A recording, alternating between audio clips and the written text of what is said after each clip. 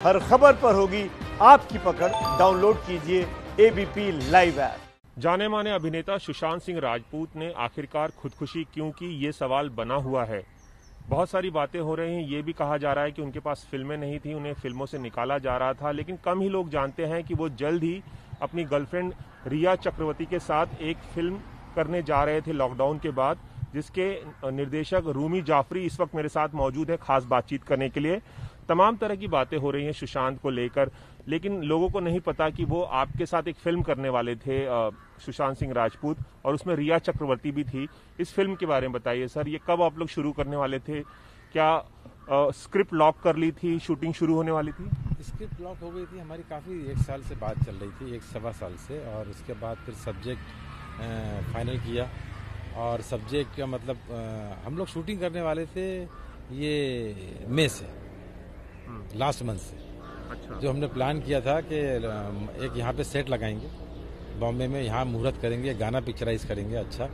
क्योंकि वो डांसर बहुत शानदार था उसको डांस का शौक भी था।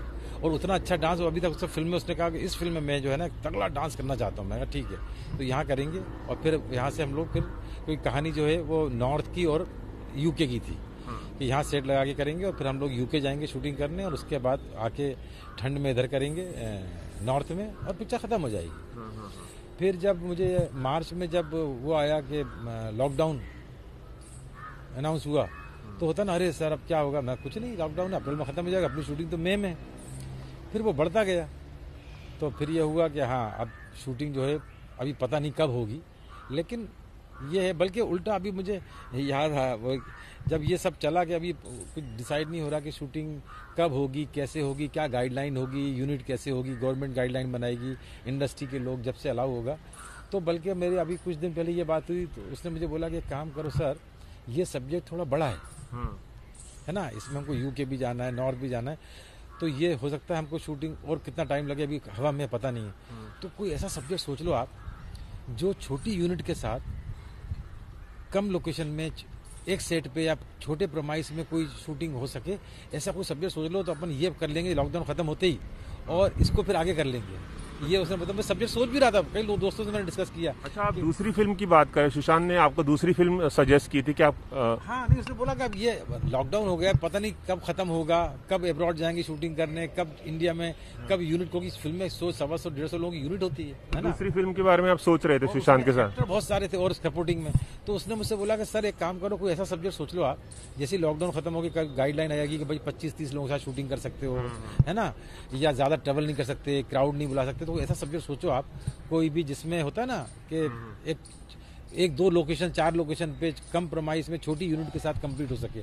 तो मेरे जो कई खास दोस्त हैं जिनको मैंने इस, इसके लिए फ़ोन भी किया हाँ। कि यार कुछ सब्जेक्ट हो तो बता मुझे ऐसा सब्जेक्ट चाहिए मतलब कितने मैंने दोस्त थे मेरे जिनको मैंने फ़ोन किया। तो जो ओरिजिनल फ़िल्म शुरू करने वाले थे मई के एंड में उसमें रिया चक्रवर्ती भी थी हाँ। उसके बारे में बताइए फ़िल्म किस तरह की थी रिया को भी आपने साइन किया था ये पहली फ़िल्म होती सुशांत की अपनी गर्लफ्रेंड के साथ हाँ रिया क्या है मेरी फ़िल्म जो मैं मिस्टर अमिताभ बच्चन और इमरान के साथ मैंने बनाई है चेहरे हाँ। उसमें रिया है ऑलरेडी हाँ। और मैं उससे बहुत इम्प्रेस उसने बहुत अच्छा काम किया बहुत प्रोफेशनल है और बहुत तो उसको तो मैंने उसको भी देखा और सुशांत को मैं जानता हूँ क्योंकि वो थिएटर का है। हाँ। मैं काम करता था जिस ग्रुप में उसी में उस वो बाद में काम करता था। आप नादिरा बब्बर के थिएटर ग्रुप एकजुट में काम करते थे। आपकी मुलाकात सुशांत से वहाँ पे हुई थी? नहीं मेरे वो मुझसे बहुत जूनियर है। हाँ। लेकिन वो क्या है जब मेरे से मिला आके तो उसका ये हुआ कि सर कि मैं एकजुट में प्लेस करता था।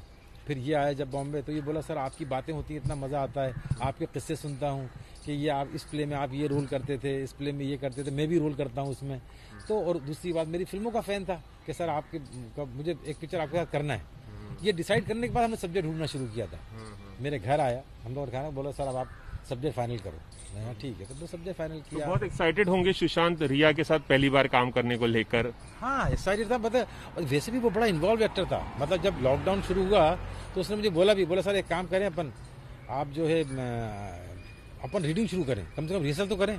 तो मैंने कहा रिहर्सल के लिए भी तो आना जाना पड़ेगा। लॉकडाउन हम्म। में क्या रीडिंग करें रिहर्सल करें? हम्म। हाँ बोला नहीं थोड़ी छूट मिलेगी आने जाने की तो अपन शुरू कर देंगे। हम्म, लेकिन क्या है ये था कि वो लॉकडाउन जब भी आगे बढ़ता था तो अपसेट होता था। हाँ वही मैं पूछना चाह रहा था कितने हाँ, निराश थे कि लॉकडाउन बार बार बढ़ रहा था। अच्छा रिहर्सल तो होता है ना क्या सर तो जैसे इस बारे में क्या बात करते हैं? जब लॉकडाउन बार बार आगे बढ़ रहा था तो एक्सटेंड हो रहा था तो इस बारे में किस तरह से अपनी निराशा ज़ाहिर करते थे? निराशा नहीं जैसे होता ना हमारा सबका रिएक्शन आता था कि अभी यार लगता है सब कल से ये अलाउड हो जाएगा जाएँगे और फिर जैसे आता आगे बढ़ गया तो एक थोड़ा सा होता ना लेकिन पॉजिटिव ये था कि सर हेल्थ पहले। ये बात उसकी वो थी कि सर अपन ये मुझे भी बोलता था जैसे मेरी फैमिली को बहुत चाहता था मेरे बच्चों को कि सर लॉकडाउन खत्म भी हो जाए ना तो आप प्लीज़ साहिर अल्फिया मैम मेरी वाइफ को मैम बोलता था इनको आप सख्ती रखिएगा कम से कम पंद्रह बीस दिन एक महीना के बाहर ना जाएँ। नहीं तो लॉकडाउन खत्म होती घूमने निकल जाएँगे। तो रिया का नाम क्या सुशांत ने सजेस्ट किया था फ़िल्म के लिए? नहीं उसने सजेस्ट नहीं किया था क्योंकि रिया ऑलरेडी मेरे साथ काम कर रही थी हम्म। है ना और मैं उससे खुश था। और मुझे उसका मतलब फेस भी उसका इतना खूबसूरत है काम भी इतना अच्छा करती है है ना? और जो मेरा रोल था मैंने माइंड बना लिया था कि रिया को लेना है तो मैंने रोल जब लिखा तो वो मैंने सोच के लिखा था मतलब मेरी आदत ही जितनी आप मेरी पुरानी फ़िल्म भी देखेंगे हाँ। चाहे वो गोविंदा की हो सलमान की हो हम मैं एक्टर के हिसाब से ही रोल तो आप एक ऐसे निर्देशक हैं ऐसे लेखक हैं जो लगातार सुशांत सिंह राजपूत से टच में थे। पाँच दिन पहले भी आपने कोई एसएमएस किया था? उस एसएमएस के बारे में बताइए। फोर्टीन को हुआ था मेरी उसके एक दिन पहले मतलब ट्वेल्थ को मैंने उसको किया था बारह तारीख को आपने मैसेज किया था? क्या मैसेज में लिखा था? नहीं क्या हुआ था वो वो मैनेजर ने सुसाइड किया था तो मैंने उसको फ़ोन नहीं किया। मैंने कहा दस पचास लोग उसको मीडिया से लेकर इंडस्ट्री वाले फ़ोन कर रहे होंगे। तो उस दिन बारह तारीख को मैंने उसको सोचा कि अब मैं उसको तो मैंने उसको एक वॉइस नोट भेजा कि मैंने जानबूझ के नहीं किया तुम अपना ध्यान रखो ये। तो फिर उसने मुझे बोला thank you so much for asking sir मुझे हार्ड वार्ड हग हार्ट बना के भेजा। वो बोले बस सर जल्दी ये ख़त्म हो जाए आपको मिस कर रहा हूँ मिलते हैं। तो वो दिशा सालियान जो उनके एक्स मैनेजर थी उनकी आत्महत्या से भी काफ़ी हताश निराश थे। मेरी क्योंकि उसकी आत्महत्या के बाद बात ही नहीं हुई तो मुझे पता नहीं कि वो हताश निराश कितना था क्या था वो मेरी बात ही नहीं हो पाई उससे। मैसेज ही हुआ बस वो भी बारह तारीख को। इसके अलावा इंडस्ट्री में तमाम तरह की बातें हो रही हैं कि वो एक आउटसाइडर थे।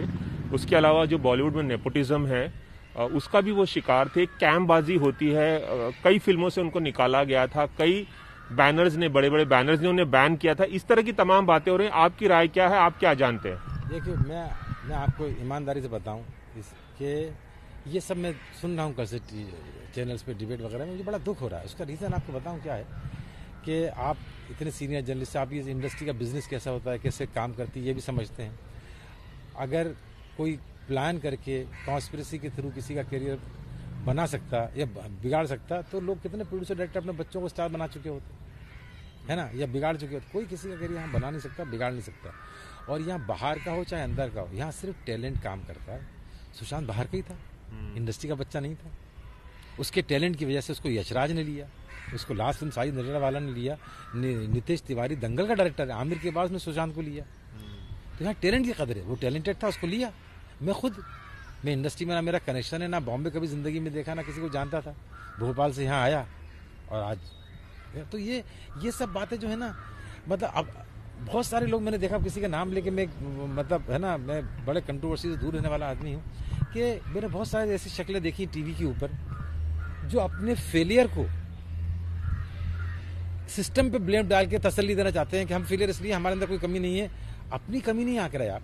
आप दोष देना चाह रहे हैं कि सिस्टम ऐसा है, मैं किसी कैम्प में नहीं हूँ, मेरा कोई गॉडफादर नहीं है, मेरा भी नहीं था, सुशांत का भी नहीं था। लेकिन शेखर कपूर ने जिस तरह का ट्वीट किया है, आपने पढ़ा ही होगा कि मैं आपका दर्द समझता था, सुशांत आप मेरे कंधे पे रोते थे, आपके साथ क्या कुछ बुरा हुआ मैं जानता हूँ। इस तरह का ट्वीट शेखर कपूर ने किया जो उनके साथ फ़िल्म पानी बनाने वाले थे, जो यशराज प्रोड्यूस करने वाले थे, लेकिन वो फिर फ़िल्म बनी नहीं। तो कहीं ना कहीं शेखर कपूर भी इस, इस, इस ओर इंगित कर रहे हैं कि बॉलीवुड में बहुत कुछ ऐसा हो रहा है जो नहीं होना चाहिए। मुझे देखिए मैं मैं शेखर जी जो हैं उन्होंने उनसे क्या बात की उसने क्या रोया मुझे नहीं पता है ना? लेकिन अब मैं क्या बोलूँ मतलब मैं ना आदमी मतलब मुझसे तो उसने ये शेयर किया कि मेरा सबसे ज़्यादा वक्त ख़राब हो गया उस फ़िल्म में। मैंने मैंने अच्छी फ़िल्म छोड़ना छोड़ दी। मेरा वक्त उस पिक्चर की वजह से बहुत ख़राब हुआ। पानी फ़िल्म की वजह से उन्होंने कहा। ये सब चीज़ें जो क्या बताया था? थोड़ा बताइए पानी फ़िल्म की वजह से क्या क्या होने जाने दीजिए मैं आपने ज़िक्र किया तो मुझे निकल जाता है ये सब ये सब कुछ नहीं है। आप बताइए ये इंडस्ट्री कैसे वर्क करती है आपको बताऊँ आप भी जानते हैं ये बिज़नेस है। आज सुशांत जो है टॉप टेन हीरो में तो था। लास्ट फ़िल्म उसकी डेढ़ सौ करोड़ का बिज़नेस की है। आज मैं जानता हूँ ना मैं फ़िल्म शुरू कर रहा था उसकी क्या रिकवरी थी। यहाँ पे बिज़नेस है। यहाँ पे आप देखते हैं सुशांत से जो छोटे स्टार हैं। उनको भी लगे फ़िल्म बनती है। फ़िल्म आज इतना बड़ा इंडस्ट्री हो गई है इतनी बड़ी इंटरटेनमेंट इंडस्ट्री है यहाँ सबको डेली एक्टर चाहिए इतनी फ़िल्म बनती है। तो आपको क्या लगता तो है फिर क्या वजह रही होगी? मुझे, मुझे लोगों ने जिनको पता है कि सुशांत से मेरा रिश्ता है मेरी फ़िल्म कर रहा है मुझे लोगों ने बोला कि यार एक नरेशन करा दे मीटिंग करा दे। मैंने उससे बात की उसने कहा सर अभी करना नहीं है तो मैं क्यों? अच्छा। हाँ, तो ये बताइए कि आपको काम करता था कम लोगों से मिलता था कि सबको पता है ये कोई ऐसी बात नहीं है कि तो आपको क्या लगता है कि क्या वजह रही होगी एक इतना सक्सेसफुल एक्टर जिसने अपनी अलग पहचान बनाई आउटसाइडर होने के बावजूद भी इतनी बड़ी बड़ी फ़िल्में की बड़े बड़े डायरेक्टर के साथ काम किया आगे भी कई फ़िल्में करने वाले थे? क्या वजह आपको नज़र आती है कि वो डिप्रेस थे डिप्रेशन की दवाइयाँ खा रहे थे और आखिरकार उन्होंने बिना किसी को बताए आत्महत्या कर ली? हाँ ये देखो ये एक बहुत बड़ा सवाल है मुझे ये पता है डिप्रेशन में वो पहले भी गए थे। पहले मतलब पहले मतलब कुछ छः महीने पहले की बात होगी चार महीने हाँ, तब भी गया था डिप्रेशन में। और उस सबको उसके जो करीबी लोग हैं उन सबको पता है डॉक्टर्स को पता है उसका इलाज भी चल रहा था है ना? और अभी भी उसका इलाज चल रहा था मेडिसिन वगैरह डॉक्टर। लेकिन क्या है उस टॉपिक में मैं इसलिए नहीं छेड़ता था कि मेरा वो हीरो था स्टार था। मैं उसको एक होता ना जानबूझ के जब वो डिप्रेशन में था भी ना तो मैं उसको मिलता था तो उसको हंसाता था या वो मेरे घर बुला लेता था मेरे कि अच्छा खाना खाएँगे ताकि खूब एक दो चार घंटे हँसी मज़ाक गप्पे करेंगे ताकि क्या होता है मैं आपको बताऊँ मैं इस टॉपिक पर बात नहीं करता था। उसका रीज़न क्या है? जैसे मान लीजिए आपको पता लगा कि मेरे पास पैसे नहीं है। आप मेरे घर आए और आपने बोला मेरे बच्चे को देखा अरे यार बेटा तेरे पहली बार देखा ये दस हज़ार रुपये रख। है ना? एक आपने मुझसे आके बोला कि यार रूमी तुमने सुना तुम्हारे पास पैसे नहीं है। ये लो दस हज़ार रुपये तो मुझे ख़राब लगेगा। तो समझे ना ये आर्टिस्ट बड़े वैसे भी नाजुक लेकिन कभी सुशांत ने शेयर किया आपके साथ कि किस वजह से डिप्रेशन में है? क्योंकि आप फ़िल्म बना रहे थे और एक नाटक नाटकों के जमाने से आप जानते हैं एकजुट के जमाने तो कुछ शेयर किया आपसे उन्होंने? जैसे कि मैं बताऊँ मेरे को मैं- ये कब की बात है मुझे लगता है पाँच छह महीने पहले जब उसको एक बार डिप्रेशन में गया था मैं उससे मिलने गया उसने बुलाया। तो मैंने बोला भी कि प्रॉब्लम क्या बताओ तो। कुछ समझ में नहीं आ रहा सर। मुझे लगता मुझे मेरे को लगता मुझे काम ही नहीं करना चाहिए। मेरे को तो सर कुछ और ही करना चाहिए। मेरे को ये सब तो ये क्या रीज़न क्या है? मतलब होता है ना कुछ बताओ। कुछ रीज़न नहीं है बस सर अजीब सा लगता है मन नहीं चाहता कुछ करने का। तो फिर क्या है जब आदमी सामने वाला आपसे नहीं खुले तो मैं इंसिस्ट भी नहीं करता था। मेरा काम था उसको मैं हँसी मज़ाक मैं ये है कि मुझे तकलीफ़ इस बात की है इतनी तकलीफ़ है मेरी वाइफ को मेरे बच्चों को कि मतलब ये उम्मीद नहीं थी। आदमी सोचता है ना कि यार टेम्परेरी है निकल जाएगा। दवा से ठीक हो जाएगा। लास्ट टाइम भी तो हुआ है डिप्रेशन में। तो निकल गया था। तो जब आपने उन्होंने ये कहा कि मुझे काम करने का मन नहीं करता है वजह उन्होंने नहीं बताई तो और कुछ जानने की आपने कोशिश की कि क्यों उन्हें इतना अजीब लग रहा है? एक एक्टर हमेशा से वो एक्टर बनना चाहते थे। उसके अजीब अजीब सपने थे। कभी बोलता था कि मेरे को पूरे हिंदुस्तान में ट्री जो है प्लांटेशन करना है। इतने लाख पेड़ लगाना है। कभी बोलता था मुझे बहुत साइंटिस्ट बनना है कुछ चीज़ें इन्वेंट करना है। है ना? कभी बोलता था मुझे फ़ार्मिंग करना है मुझे खेती करना है। और उसने मुझे पवना डैम पे उसका बहुत खूबसूरत लेक टच घर था जहाँ मैं भी गया हूँ वहाँ पे हम लोग बोटी वोटी तो वो पवना डैम? हाँ पवना डैम पे। तो वो काफ़ी लोनावाला के पास? हाँ लोनावाला के पास। तो वहाँ पे उसका घर था बड़ा खूबसूरत वो जहाँ पे लेक थी। हम मैं भी गया हूँ मेरी वाइफ हम लोग वहाँ बोटिंग वोटिंग की। तो वहाँ बोलते सर बस ऐसा जाता है ऐसी जगह अकेला रहूँ। अच्छा ज़्यादा दोस्त वोस्त नहीं थे। उसको पसंद ही नहीं था। मुझे स्टार था आदमी मालूम मालूम स्टार अगर चाहे तो कितनी कंपनी उसको खड़ी हो जाती है। तो उसका मिजाज थोड़ा था उसको कभी उन्होंने कुछ बताया नहीं कि क्यों वो एक्टिंग छोड़ना चाहते हैं? हाँ नहीं वहाँ का- उसका माइंड होता था कभी मैं एक्टिंग छोड़ के अब खेती करूँगा।